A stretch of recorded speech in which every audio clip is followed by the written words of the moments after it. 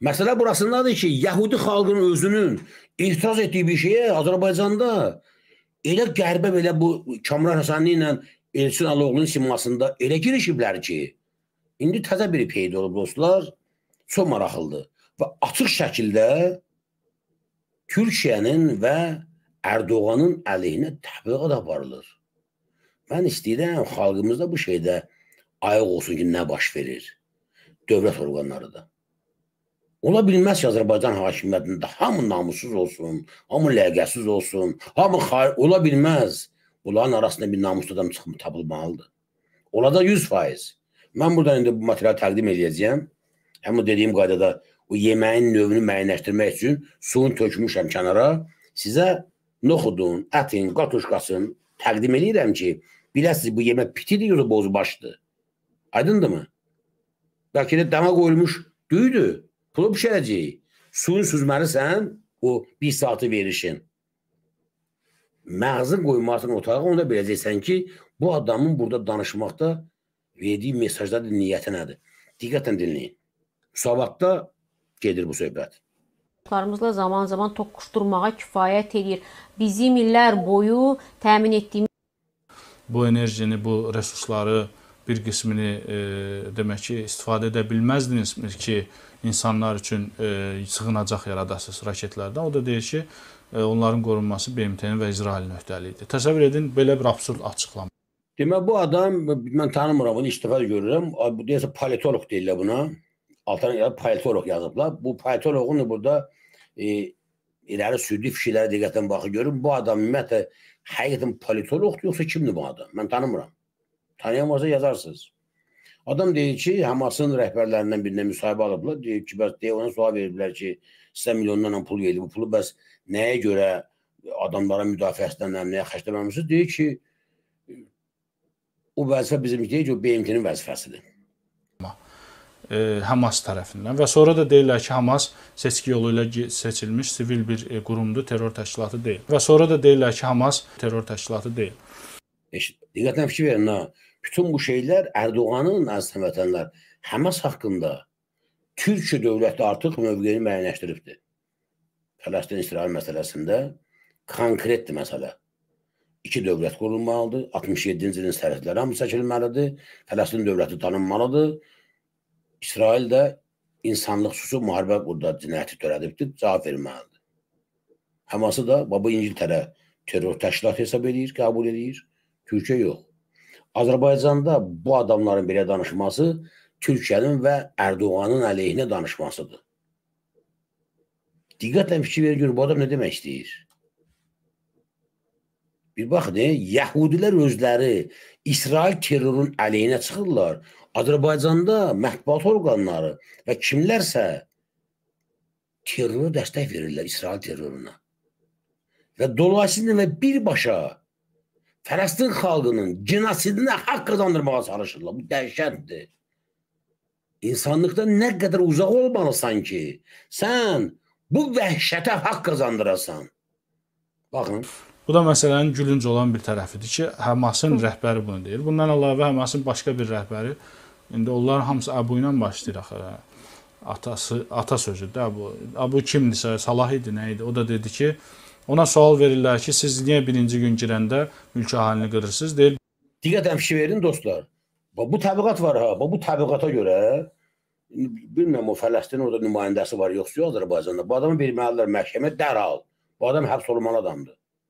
Bu adam burada elə bir təbliğat aparır ki, bu birbaşa Fələstində mülki adamların, uşaqların öldürülməsinə haqq qazandırmağa çalışır. Bilmirəm bu adam kimdir. Bu, bu normal adam ağıl deyil.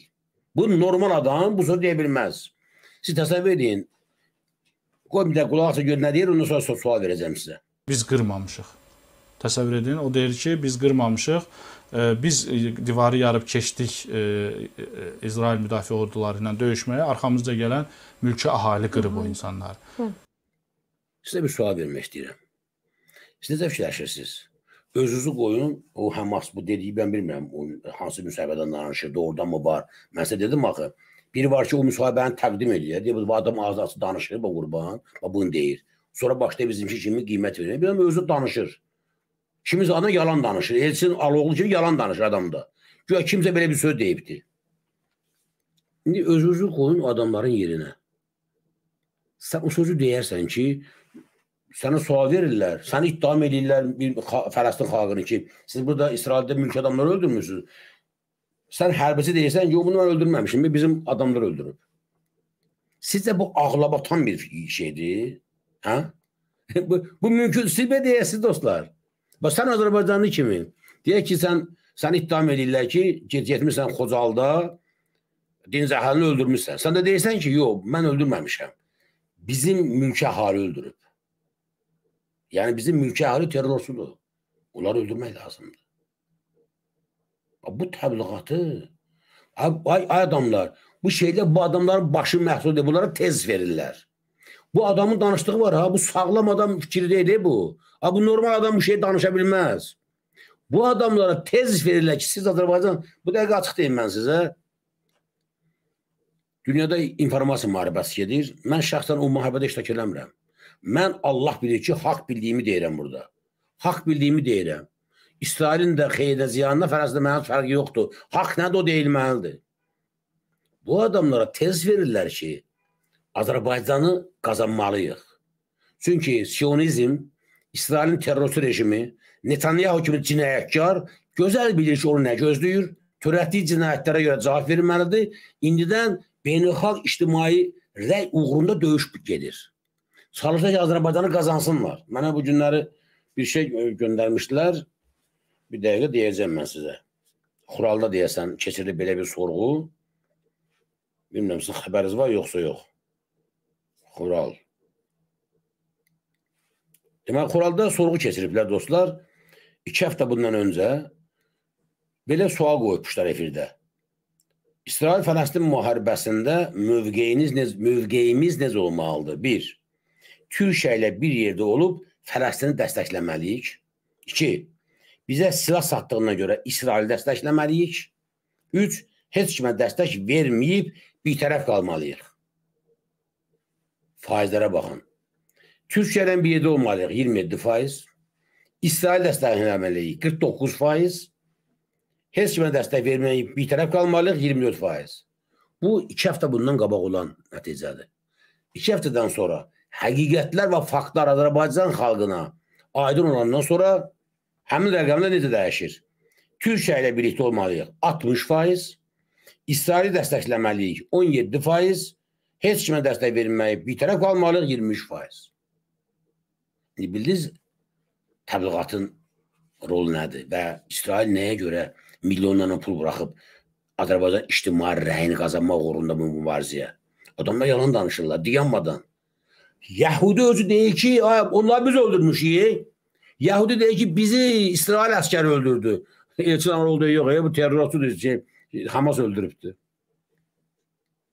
Və Erdoğan da deyir, Həması müdafiə edildiyinə görə Erdoğan da terrorçudur, çünki terror dəstəkləyir.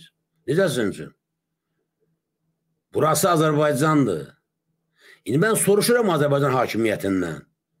Siz doğrudan karsız, çorsuz görmürsünüz bu adamdan apardığı təbliğatı, yoxsa siz qəsdən və bilə-bilə Türkiyənin əleyhinə, Erdoğan əleyhinə bu təbliğat apar, təşkil edirsiniz. Nə ilə olmaq istəyirsiniz? Siz kimsiniz? Ey Azərbaycan xalqı, ayıq ola, səni ən böyük müttəfiqlərindən qoparmağa çalışırlar. O müttəfiqin biri Türkiyədir, biri İslam dünyasıdır. Bunu unutma ha, bunu mən sənə dedim. Sənin iki böyük müttəfiqin var bu dünyada. Üçüncüsü yoxdur. Onun birincisi Türkiyədir, qardaşımız. İkincisi bütün İslam dünyasıdır. Hər ikisindən səni qoparmağa çalışırlar. Uzun müddət səni çalışırlar ki, Fələstinin haqlı işində əleyhinə mövqe sərgiləyəsən, İslam dünyası səndən üz döndərə və uzun müddət indi başlayıblar Türkiyənin əleyhinə açıq şəkildə danışmağa, təbat aparmağa ki, Türkiyə desin ki, tuz sizinlə gəl sözünüzə. Biz sizin ağır günləriniz yanınızda olduq. 20-ci əsrin əvvəllərində də, indi də. Siz də bizə bu münasibəti göstərirsiniz. İnşallah mənim xalqım buna imkan verməz. Və biz buna imkan verməyəcəyik Azərfilm ailəsi olaraq. Gecə gündüz işləməliyik, çalışmalıyıq. Gəlin izləyək görək hələ bu adam nə deyir, ondan sonra biləcəksiniz dostlar.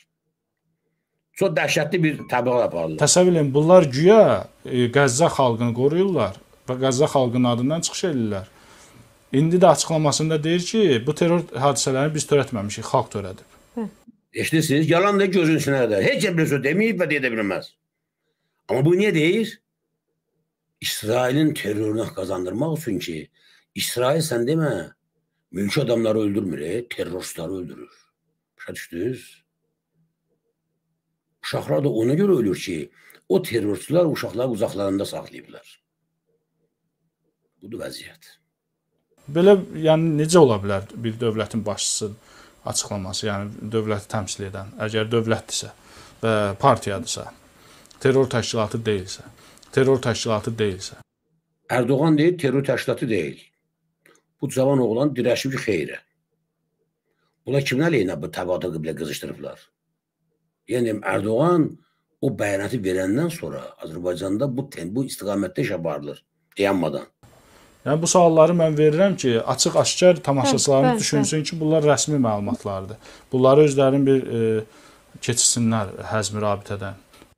Həzmi rabitədən keçirmək mümkün deyil, çünki rabitə başqalarının əlindədir oğlum, amma sənin həzm rabidən keçirmək istədiyin məsələ qurşağında qalacaq. Çünki yalan danışsan gözün içinə qədər elə bir müsahibə zadı yoxdur, elə bir şey deyən olmayıbdır ki, güya Fələstin xalqı terrorçudur, gedib adamları öldürüblər. Yalan desən gözün içinə qədər.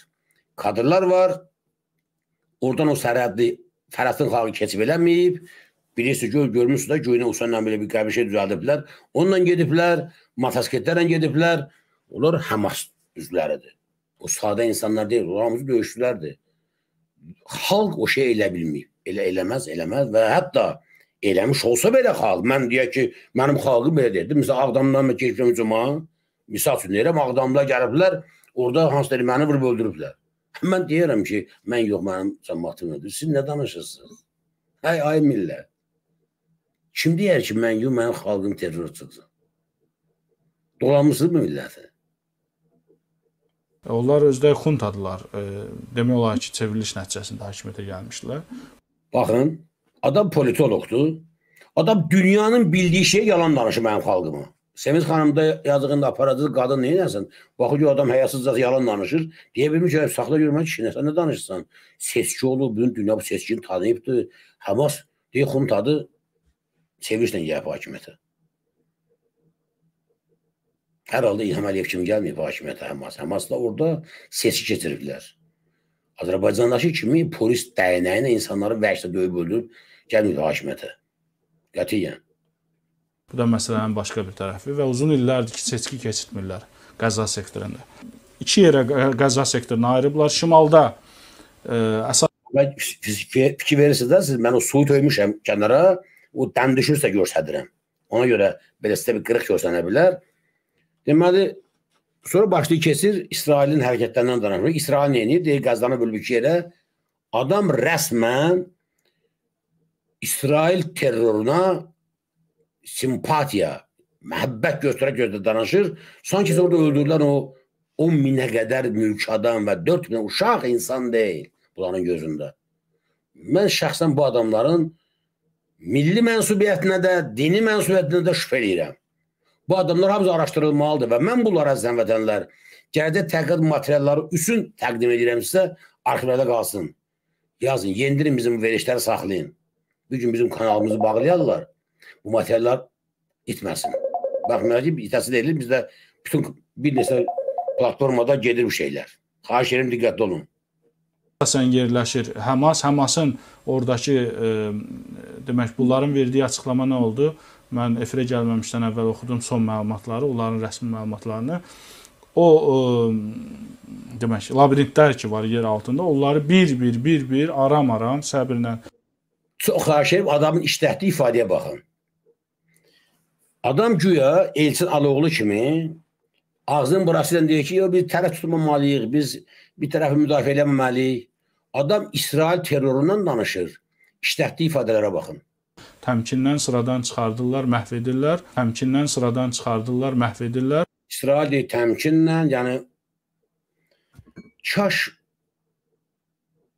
tökülən o bombaların altında sən və sənin ailə üzvlərin olardı. Onda mən Sənə deyərdim ki, təmkinlə yaxşı döşürlər baş, başa bombaları. Cavan oğlan. Təmkinlə və deyə aram-aram fikir verin. Azərbaycan xalqına bu adamın danışdığı yalana baxın. Deyir ki, İsrail ordusu təmkinlə və aram-aram o tunelləri güya məhv eləyirlər. Xəstəxanada tunel var. İnsanların, mülki insanların yaşadıkları evlərdə 5-10-cu mərtəbədə tunel var. Ey Azərbaycan, ayıq olun ha. Ayıq olun. Dəhşətli bir vəziyyətdəyik dostlar. Gözün benim içimizdə kimləri yetişdiriblər, kimlərdir bu adamlar? Deyir, İsrail aram-aram təmkinlə tunel düzəldir orada. Tunelləri şey dağıdırlar. Sən demə bu 4000-dən çox uşaq, 2000-dən çox qadın tuneldəymiş onlar, orada ölüblər və e, nəticə etibarilə şimalda olan hissəni cənubda olan hissədən ayırırlar. Və e, məlumat gəldi ki, qapıları da deyəsən açır evakuasiyası üçün, əhalinin evakuasiyası üçün qapıları da açır və hansı qapılar açır? Hansı da o evakuasiya hansı qapılar açılır? İsrail açır öz qapı, yox qətiyyən. Bir şey də mən burada sizə aydına gətirim, çünki dostlar sual veriblər ki, bunu nə, nə baş verir.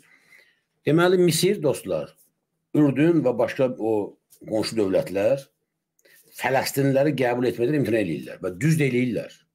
Tamamilə düz eləyirlər. Deməli görün nə qədər həyasız bir rejim var İsraildə.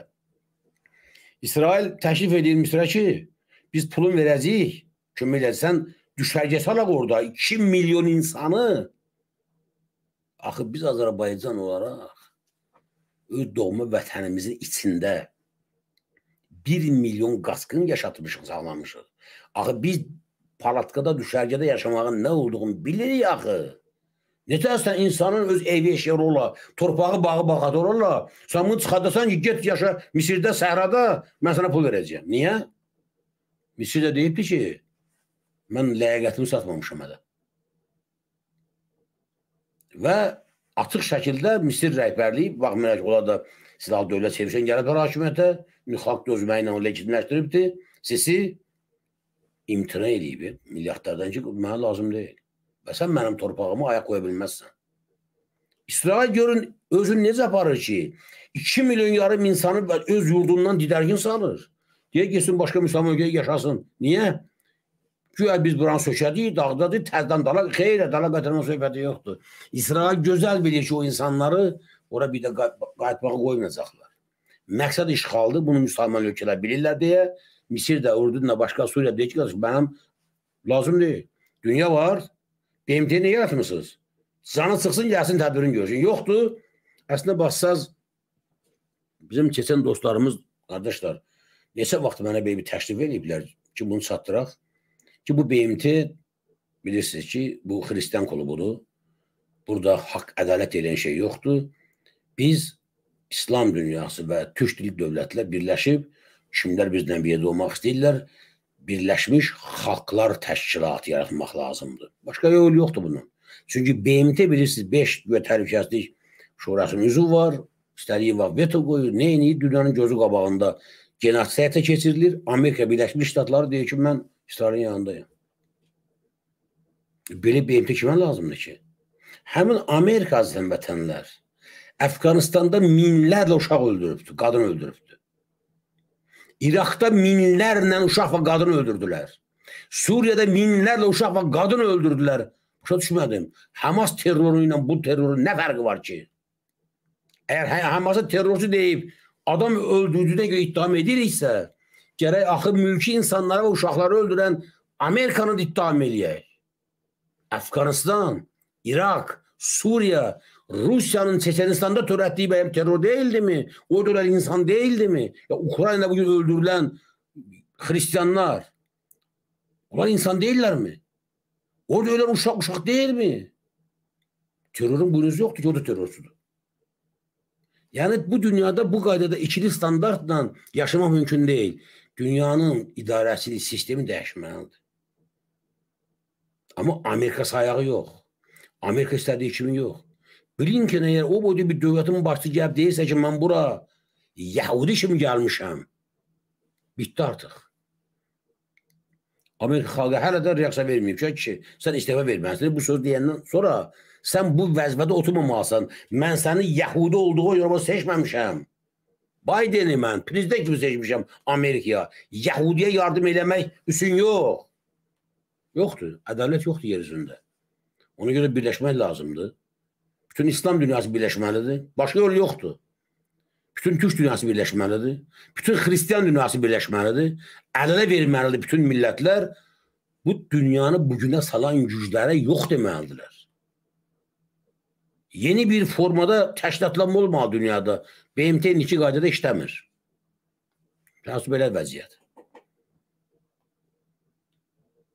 İsrail bilirsiniz ki, bu ilin ə, ərzində 20 min adama da iş icazəsi vermişdi. Qəzzadan gəlsinlər, işləsinlər. Onlar Fikir ver, adam danışır bir saat. Bütün nitki yalnız İsrailə sevgi, məhəbbət İsrailin təbliğatıdır.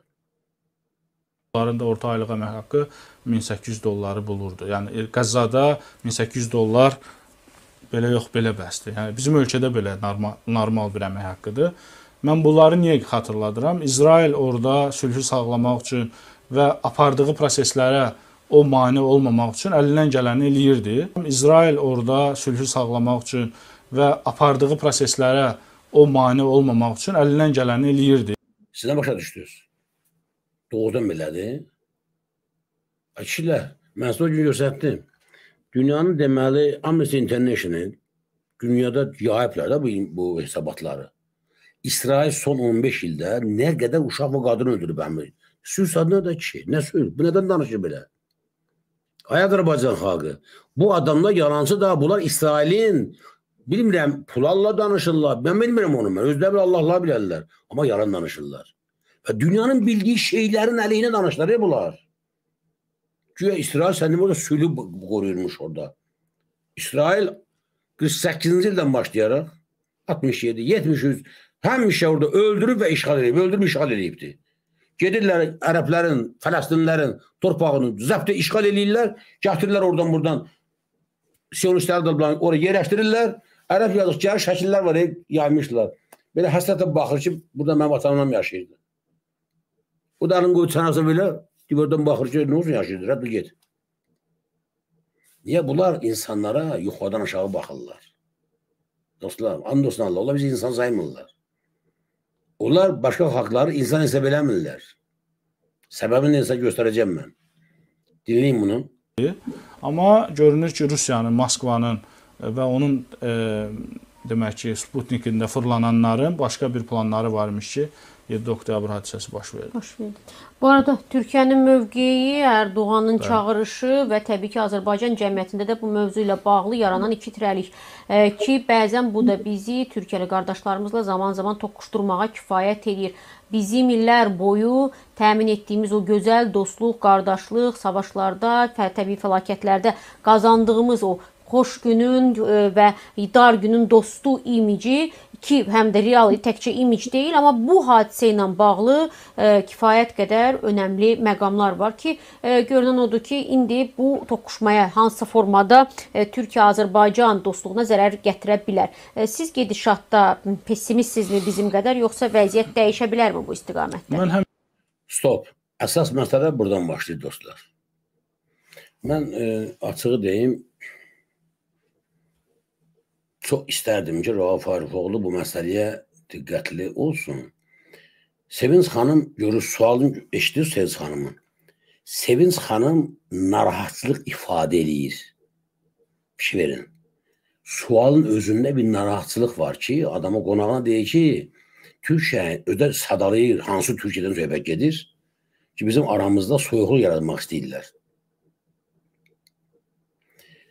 Sevinç xanımın verdiyi sualdakı o narahatçılığı siz başa düşdünüz, düşmədiniz? Sevinç xanımın Türkiyə münasibətini sualın özündə başa düşməmək mümkündürmü? Hə?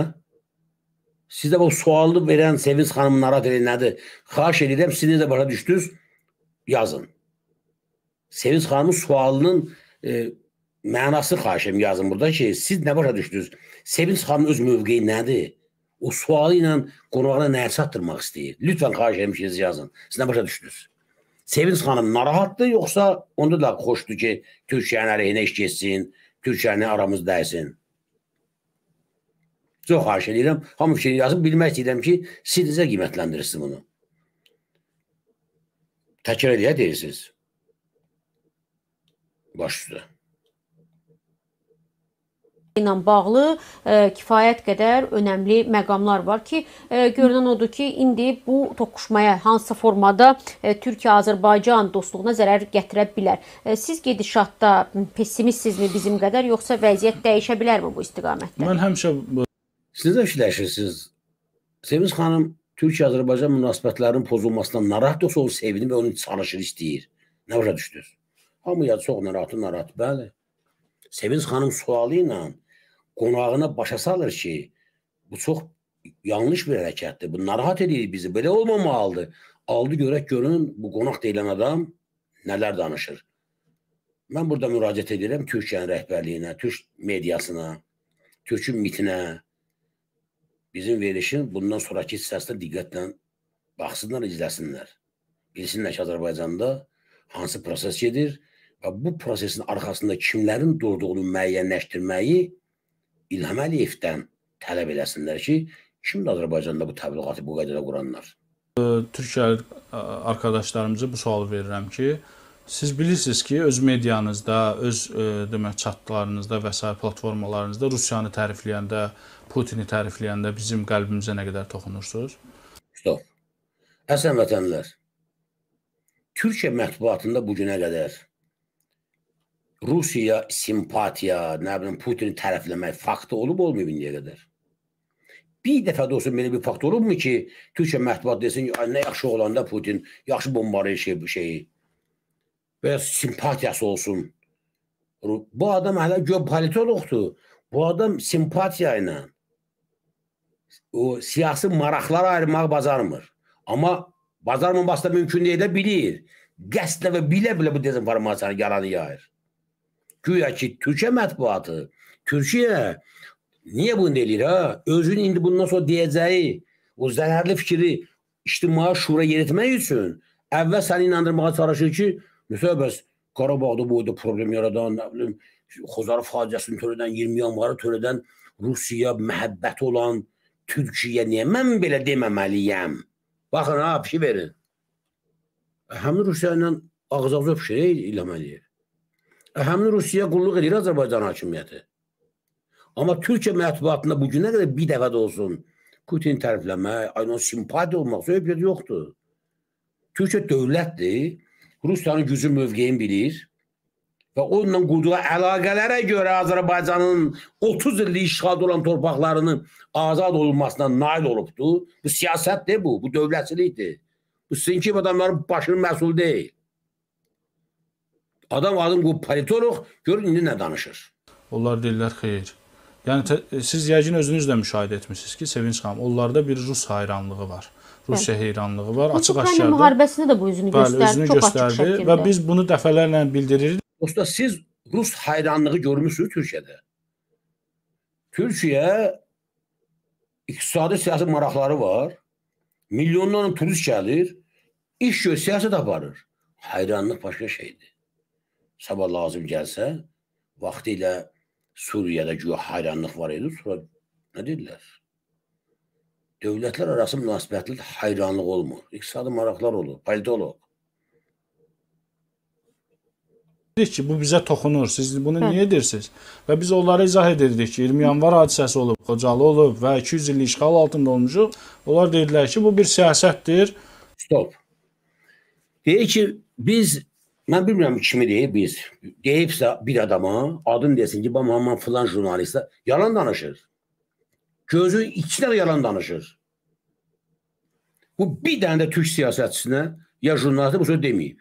Deyibsə növbəti verişdə adın versin, telefonunu versin, çağıracaq mən efirə. Deyir ki, biz onlara deyirik ki, siz Rusiyanın təriflərində bizim qəlbimizə dəyir. Baxın ha. Ona görə biz də e, öz yolumuz var, öz siyasətimizdə istifadə bir tərəflərində siz dözməlisiniz. Bizim də öz marağımız var. Primakovun ay günü keçirəndə cənab politolog etiraz elədi. Qəlbə dəymədi çox. Azərbaycanda rus dilli məktəblər çoxalanda qəlbə dəymədi heç ki. Bir 20 yanvar, Xocalı. Qəlbə dəymədi. Hə? Xankəndinə girməyimizdə bir 2-3 saat qalmış. Rus qoşunlarının gedə saat 2-də zorla Xankəndinə girməsi və sənin prezidentinə istəmədi zorla saat 2-də bəyannaməyə, bəyanata qol çəkdirməsi qəbrinə dəymədi.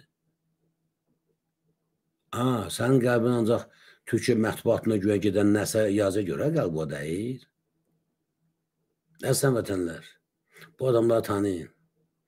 İçimizdə bu beləncə sonradan ya yeri gələndə partlayacaq minaları yerləşdiriblər. Siyonizm işləyir, milyonlarla pul töküb. Yaxşı ki, bu hadisələr baş verir, biz bu adamları tanıyırıq indi. Elə bir məqamda arxadan səni vurarlar ki, özünü xilas eləməyə imkanı olmaz.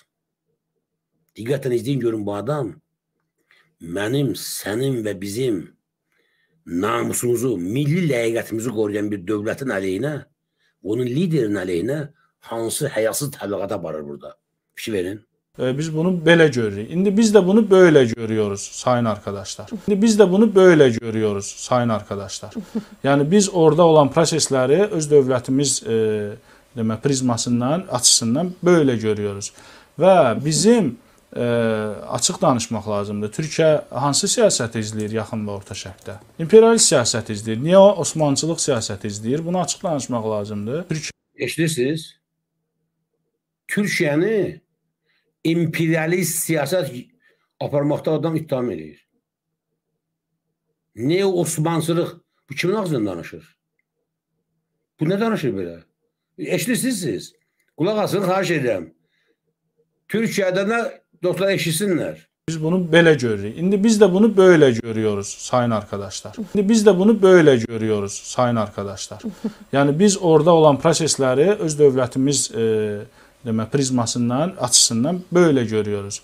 Və bizim e, açıq danışmaq lazımdır. Türkiyə hansı siyasəti izləyir yaxın və orta şərqdə? İmperialist siyasət izləyir. Niyə o Osmanlıcılıq siyasəti izləyir? Bunu açıq danışmaq lazımdır. Türkiyə imperialist siyasət izləyir. Niyə o Osmanlıcılıq siyasəti izləyir? Və e, biz e, heç bir yerdə imza atmamışıq ki, Türkiyənin neo-Osmanlıcılıq planlarında iştirak edəcəyik.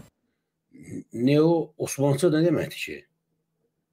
Türkiyə nə deyir? Türkiyə deyir ki, ay İraqa, Suriya gəl, mən sənə vəkilən idarə edeyim. Türkiyə dövləti bəyan edib dəfələrlə ki, bu ərazilər toxunub sərhədlərin dəyişilməsi olmaz. Bu dövlətlərin daxilinə işə qarışa bilməz. Ey Amerika, sən o burama gəlib mənim burumun dibində burada baza qura bilməzsən, qırıq müharibə apara bilməzsən. Nə, nə deyir ki? Deyir, mənim ərazimə hücum eləmə. Türkiyə özünü qoruyub bağcarışı. Adam deyir ki, Türkiyə ne Osmanlılıq siyasət aparır, imperialist siyasət aparır və biz də onun siyasətini müdafiə etmək üçün müqavilə bağlamamışıq. Siz başa düşdünüz. Kimdir bu adam? Bu adamla kimə işləyir belə? Bu kimlə danışır? Ay millət.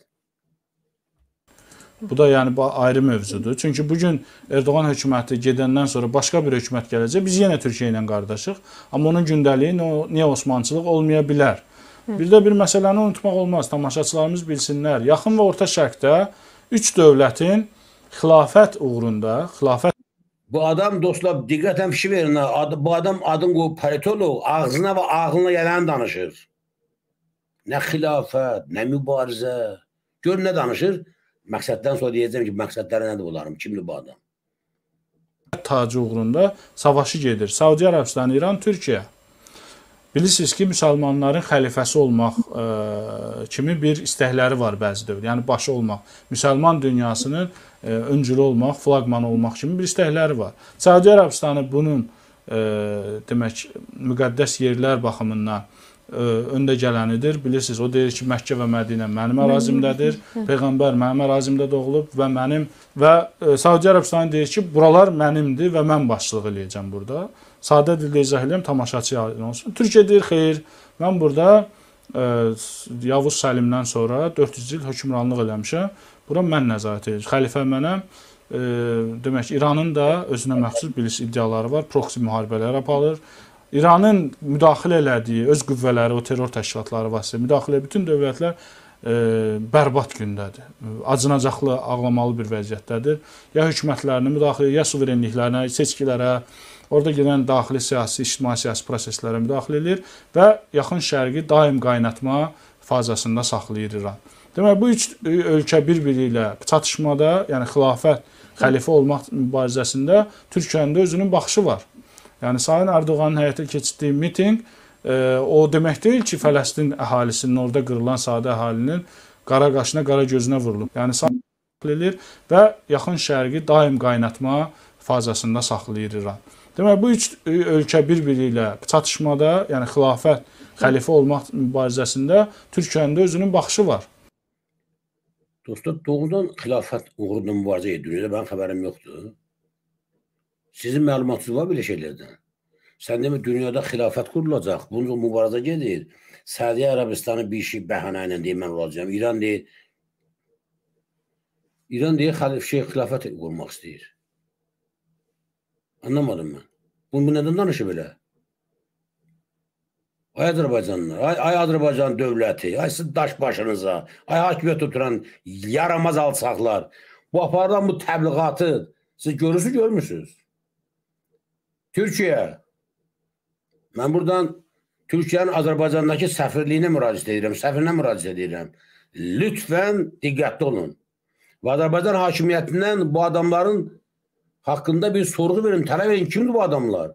Və bu təbliğatı aparmağa kim imkan verir, kim təşkil eləyir? Bunlar hamısı verilməlidir məhkəməyə. Adam açıq şəkildə Türkiyəyə qarşı təbliğat aparır. Atam, burada mən oxudum, sağ olsun bizim ailənin üzvləri, Bəli, adam PKK-ya xidmət edir açıq şəkildə. Bu adamın apardığı siyasət və təbliğat bir baxın, İsrailin arzu və istəklərinə uyğun. Sən demə, Türkiyə neo-Osmanlı siyasət yürüdür. Sən demə, bu imperialisti bu Türkiyə. Məqsədi İraqı, nə bilim, Suriya işğal eləməkdən nə də danışaq özü bilmirəm. Niyə? Həmin zolaqda PKK dövləti qurmaq istəyir İsrail. Bu həmin dostlar ideyanın təbliğatçılarından biridir. Görün adam həyasızcasına Ərdoğan haqqında nə danışır? Şey verin. Yəni Sayın Ərdoğanın həyata keçirdiyi mitinq e, o demək deyil ki, Fələstin əhalisinin orada qırılan sadə əhalinin qara qaşına, qara gözünə vurulub. Yəni Sayın Ərdoğanın həyata keçirdiyi mitinq e, o demək deyil ki, Fələstin əhalisinin orada qırılan sadə əhalinin qara qaşına, qara gözünə vurulub. Türkiyə dövlətinin açıq-aşkar siyasətidir ki, yaxın və orta şərqə qayıtmaq istəyir. Bunu heç kimdən də gizlətmir. Və bunu e, demək sadəlövhcəsinə dini qardaşlıq və həmrəylik kimi bizə həzm etdirmək istəyənlər xahiş edirəm zəhmət çəkməsinlər. Biz çox gözəl başa düşürük niyyət nədən ibarətdir. Siz nə başa düşürsüz? Siz nə anladınız? Mən, mən bilirəm ki, Sevinç xanımın imkanı olsa, orada loxma ilə tüpürəb gedənin üzünə qovar onu. Yarada o getirsən buradan. Sən nə danışsan ağzı uyaləni? Nə politoloğa kişi? Bu adamlar aldıqları tezisləri sadəcə olaraq ifadə edirlər oradan burada. Kamran oradan, Elçin al, ay millə, ayılın başa düşün. Bu adamları xalq tanımalıdır. Və bu adamların hər bir sözünə görə Bunlardan məsuliyyət tələb olunmalıdır. Yəni sən kimsən, sən nə təvə bu, bu nə danışdan danışırsınız? Bu nə nağıl danışırsınız? Ay millət, başa düşün.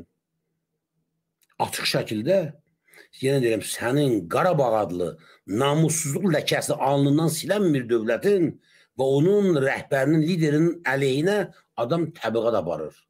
Ola bilər ki, mən Ərdoğandan nədən narazıyam. Şəxsi bir problemim var. Necə ki, mənim İlham Əliyevlə şəxsi problemim var. İlham Əliyev mənim malımı, mülkümü dağıdı, balamı, didəgin zala min dənə mənə pislik eləyib. Dədəsi məni tutub, özü məni tutub, fərq eləməz. Amma elə məqamlar var ki, o məqamda mən heç bir vaxt İlham Əliyevin əleyhinə mövqe tutmaram, sərgiləmərəm, onun yanında olacağam. O dövlətçilik maraqlarıdır. O milli maraqlardır.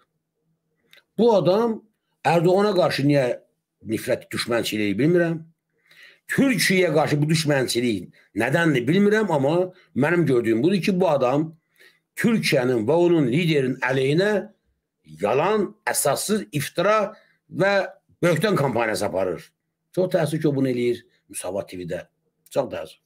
Qarışa bilmərik, etirazımız da yoxdur. Türkiyənin yolu açıq olsun. Orada gedib yenidən baş olmaq istəyirsə, yalnız bizim fəxrimiz olar. Amma bizi də bu ə, proseslərə nə alət edə bilərsiniz, nə də sürükləyə bilərsiniz. Çünki biz ayrıca bir dövlətik, özümüzün baxışımız var, özümüzün bu dünyaya dünya dövlətləri sırasında yerimiz var və münasibətlər qurmaqda da bir təcrübəmiz var. Bu adam kimdir? Hansı vəzifədə görürsən? Bu dövlətin bax, sənin mənim adımdan danış. Kimdir bu adam? Mən onu tanımadım. Bunun bir vəzifəsi var mı görəsən? Bu artıq bunu tanıyan var mı? Xahişim yazın bura. Kimdir bu adam? Yox, indi bir, bir yazı qatıq yox. Ya qatıq matıq qoyun qırağa. E, bu nə qatığa ki? Bu adam çox ciddi bir təbliğat aparır. Bu İsrailə lazım olan, İsrailin vacib olan regional təbliğatı mı adam aparır? Bu adam PKK-nın təbliğatını aparır burada. Görmürsünüz siz? Burada mən özür istəyirəm, gözüm ustaşdı Rəhim Qazi. Rəhim bəy salamlayıram burada Rəhim Qaziyev. Rəhim Qaziyev üçün yazıbdı ki, mənim yazdığımı da kimin sifariş ilə pozmusunuz? Mən çox xahiş edirəm. Nə məsələn nə yazmışdı ki, pozmuşdu ay yoldaşlar? Xahiş edirəm elə eləyin ki, bizim söhbət pəncərəsində bu bu formada narazılıq olmasın. Dostlar, adama fikir verin. Adam elə danışır ki, güya bu dövlətdə bir təmsil olunur. Azərbaycan dövlətinin bax biz, biz, biz bu da bir təbliğatın metodudur. Sən bunu dinləyəndə naşadam, dinləyəndə bunu bu, belə təsir bağışlayır ki, bu yəqin bu dövlətin nümayəndəsi, ya Müsavat TV kimi bir hörmətli kanalda danışır. Dövlətimizin yəqin mövqeyi budur da bundan sonra valı dəyişdiririk. Nə Türkiyə, nə Qarabağ azad eləmişik, qutağı 7 da, nə Türkiyə, nə Erdoğan. Yox, belə olmur. Açıq-aşkarda onu göstərir. Təbii. Yəni müttəfiqimiz hardadırsa biz orada olmalıyıq prinsipi burada deyirsiniz keçərli Ya bu, deyil. bu Yəni məsələdə bizim keçər bəyannaməsi tamam başqa bir məqamdır. baxımdan ki, bəzən tamaşaçılarımız qarışdırırlar ki, bizim. Şuşa bəyannaməmiz var. Fələstinə aidiyyəti varmı Bəli. Şuşa bəyannaməsi? Bəli. Yəni xarici si- bəzən mən eşidirəm deyirlər xarici siyasət və hərbi birlik e, konfederasiya. İndi diqqətlə baxın, bu adamın savadına da indi yoxdur, belə ya, təqdim ediblər. Görün bu adam konfederasiyanı necə başa düşür. Baxın. Xarici siyasət hərbi birlik o demək deyil. Hər kəsin özünün dərdi, yarası var. Və hər kəsin özünün dərdinin, yarasının yanında olmaq deməkdir xarici siyasətin birləşməsi. Və hər Eşidirsiniz dostlar? bu, bu, başa düşürsünüz? Bu adam deyir ki, bəzən deyirlər ki, biz xarici siyasətimizi uyğunlaşdırmalıyıq, konfederasiya yaradıb. Bu Sərdar Cəlaloğlu'nun birisi də məşhur təklifi var ki, Azərbaycanla Türkiyə mütləq konfederasiya yaratmalıdır, xüsusilə xarici, xarici siyasəti birləşdirməliyik, idarələri birləşdirməliyik, ya müdafiəni, müdafiə sistemi birləşdirməliyik. Bu adam gör nə deyir? Bu o demək deyil ki, deyir, hərənin öz marağı var. Hərənin marağı varsa, hər öz üçün görəcəyiz onda da nə konfederasiya. Bu adam ki, politolog da, bunu çıxarıblar evirə. Bu adam, əzizən vətənlər, danışdığı terminin mənası anlamır özü. Özü anlamır ki, bu nə danışır belə. Deyir, birləşdirmə o demək deyil ki, hər an da öz işi var.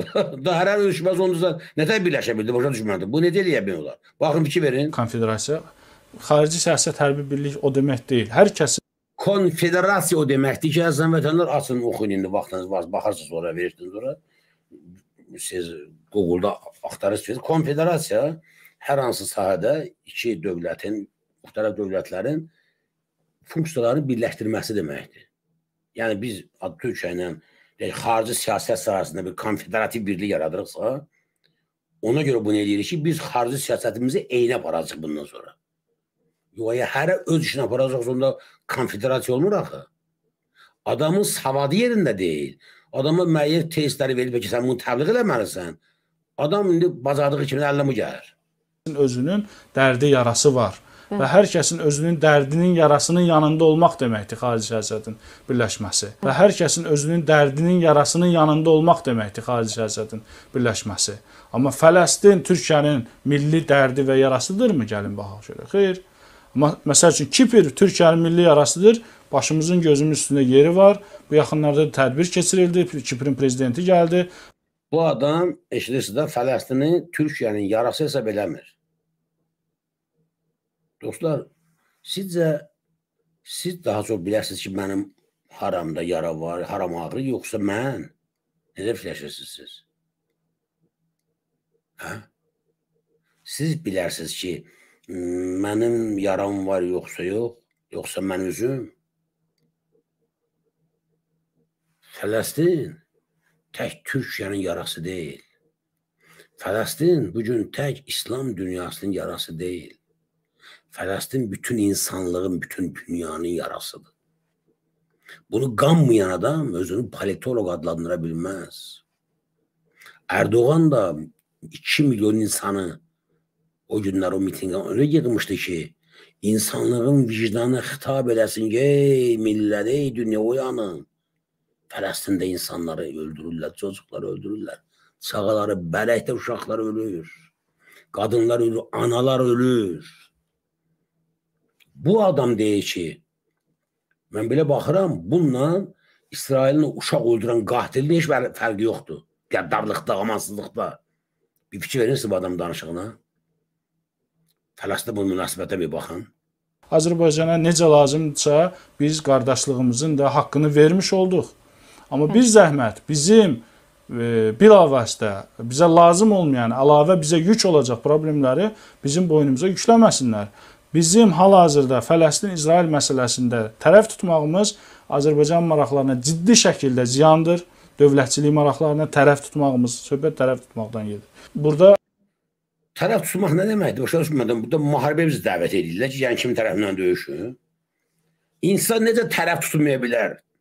Bizim din Quran-ı Kərim və xüsusilə də sevgili Peyğəmbərimiz sallallahu aleyhi və səlləmin gözəl bir hədisi var.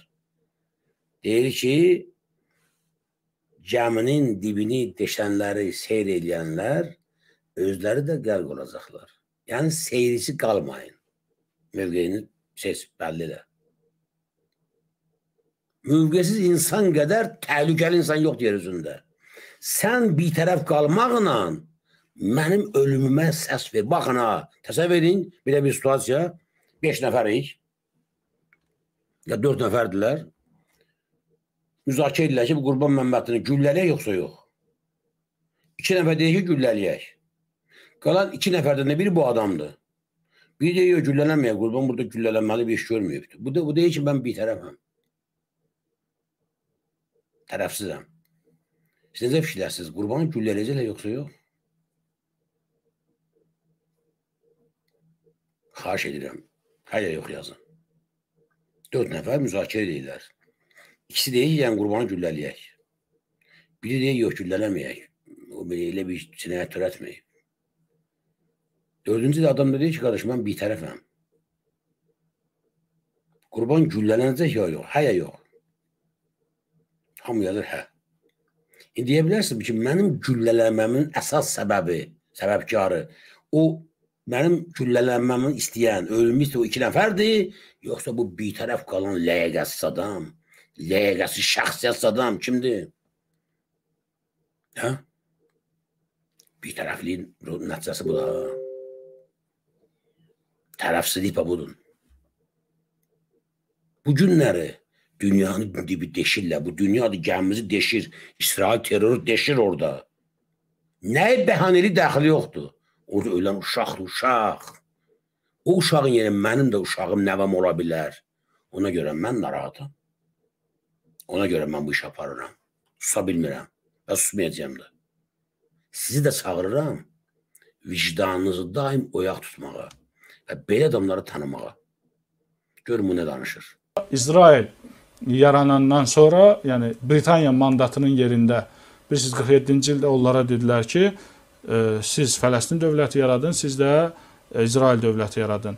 Fələstin dövləti yaratmaq yerinə 5 ərəb dövləti birləşdilər İsrailin üzərinə. Yəni bunların BMT-nin qətnamələrinə belə hörməti yoxdur. Yəni bu fikrinlə bağlı mütləq fikir deməliyəm. Mən dostlar o günləri hörmətli Rüstəm Rüstəmov da Rüstəm müəllimə bizim efirdən bu sözü dedi.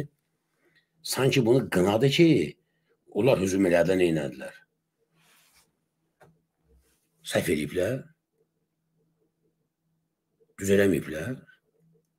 BMT yığışır, həmin BMT-də də BMT yığışır, xalqın razılığını almadan, fikrini soruşmadan, bir də dədələrin malıdır. Deyirlər ki, Azərbaycanların torpağını Qarabağarıq veririk şeyə, Ermənistana. Qəbul edərsiniz? Sizdən soruşuram. Hə ya yox yazın. Bu BMT bütün dünya yığışır, qərar qəbul edir ki, biz Qarabağı aldıq, verdik Ermənistana. Necə ki o Trump götürdü bir dənə qol çəti ki, mən Qüdsü elan eləyirəm, İsrailin şey paytaxtı və səfirimi onu keçirirəm. Qəbul edəsi yoxsa yox? Bütün bu dünya yığışır, Azərbaycan sizə soruşuram. Ay mən xalqım, gözəl insanlar. Bütün dünya yığışır, BMT. Deyir ki, Qarabağı kəsdi verdi Ermənistana. Razılası yoxsa yox? Hamı yazır xeyr. Məsələn, özü o rəva bilmədiyi bu başqasına niyə rəva bilirsən ki? Ya özü rəva bildiyini niyə bəs Fələstinə rəva bilmirsən? Niyə? O zaman ona görə ərəblər etiraz edib hücum elədilər ki, adamın torpağını əlindən alıblar. Nə etməlidir ki? Və o zamanları İsrailin qalib gəlməsində səbəb oldu ki, arxada yenə həmin güclər, beynəlxalq güclər Fələstin bədbəxt xalqı məhv elədilər. Torpağını aldırır əlindən. 56% vermişlər, elə də 80%. İndi də Ərdoğan təklif edir ki, qayda 67-ci ilin sərhədlərinə 67-ci ilin sərhədləri daxilində iki dənə dövlət qurulsun orada. Fələstin dövləti qurulmalıdır. Fələstin də artıq bu taleydən barışıb 67-ci illə. Yox, İsrail niyyəti başqadır. Qəzzanı boşaltsın, dağıtsın, 2 milyon köçürsün Misrə ora-bura, pul zad versin, neynəsinlər? Bununla da bitsin. Bütün əraziləri işğal eləsinlər. Niyə belə olmalıdır ki? Hansı xalqa buna dözər? Hansı, hansı xalq buna razı olar? Əgər sən Azərbaycan xalqı onun razı deyilsənsə, Fələstin niyə buna razı olmalıdır ki? Başqa vaxt deyirlər ki, BMT-nin qətnamələri var, niyə yerinə yetirilmir? Siz özünüz BMT-nin qətnamələrini yerinə yetirirsinizmi ki? Birinci il siz İsrailin üzərinə hücum elədiniz və İsrailin yer üzündən silinməsi doktrinlərini saxlayırsınız. Öz e, demək ki, kafalarınızda və hərbi siyasi rəhbərliyinizdə, sənədlərində belə e, bəzi dövlətlər, ümumiyyətlə İran kimi dövlət və s. dövlətlər İsrailin orada olmaması e, perspektivindən yanaşır məsələyə. Belə maksimalist yanaşsanız, e, heç bir yerə də vara bilməz. Çünki İsrailin arxasında duran qüdrət açıq-aşkar göstərir özünü və 3 dəfə də göstərib 48, 67, 73-cü illərdə. Özü də qanır ha, gözü başa düşür ki, İsrailin arxasında duran bir qüdrət olub. İndi Ermənistanın arxasında Rusiya durmuşdu deyərsən vətənlər. Biz Qarabağın işğalı ilə barışmalıydıq. Biz niyə barışmadıq? Bu adam nə demək istəyir ki? Düşmən güclüdürsə, arxasında adam varsa deməli sən təslim olmalısan, torpağını imtina eləməlisən. Ay, ay. Bunu göstərib sizə ki, bu ə, e, dünyanın gedişatında hal-hazırki dövrdə, yəni bu son 100 ildə İsrailin orada qalması labüd görülür və orada bir dövlətinin olması labüd görülür. Siz buna uyğun hesab kitabınızı edib bu adamın danışına baxır siz.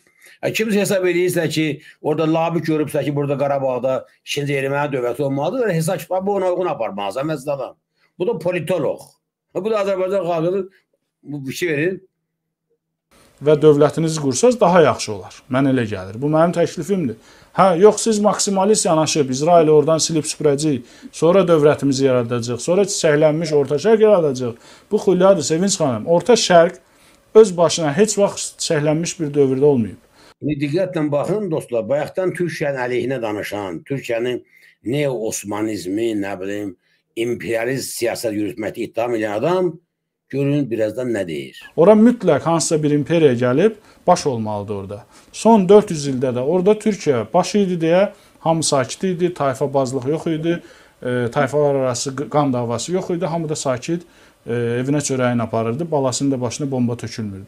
E, təkrar edirəm, qeyd etmək lazımdır ki, baş verən proseslərin körüklənməsinə heç bir halda izin verməməliyik. Orada o çatışmanın e, budur təbliğatın metodu budur. Əsas ona deyilən ideyalar dediyi yaydı. Ondan sonra humanizm, uşaq ölümü, bir, imkan verməməli. Amma əsas odur ki, Ərdoğanın haqqında dediyi böhtanı yayıldı. Türkiyənin neo Osmançılıq, nə bilim, imperialist siyasətini adam ifşa elədi. Adam görə bu politoloqdur. Təqdim edir ağıllı başlı beynənçi. Sən də xalq olar bunları tanımalısan dostlar. Hər halda mən e, ümid edirəm ki, bizim e, Türkiyə dostlarımız, Türkiyənin xüsusi orqanları, xüsusi Azərbaycandakı səfirliyi bizim bugünkü verişimizi izləyərlər və bu barədə Azərbaycan hakimiyyətindən nəsə bir soruşarlar ki, bu adam kimdir və siz bu təbliğatın bu qadir aparılmasına niyə şərait yaradırsınız? Çünki o gündə dedim, Azərbaycanda diktator rejimi var. Rəsmi hakimiyyətin və da hakimiyyətdə hansısa qolun istəmədiyi bir təbliğatı heç kəs apara bilməz. O dəqiqə onun evini mənim evim kimi dağıdarlar.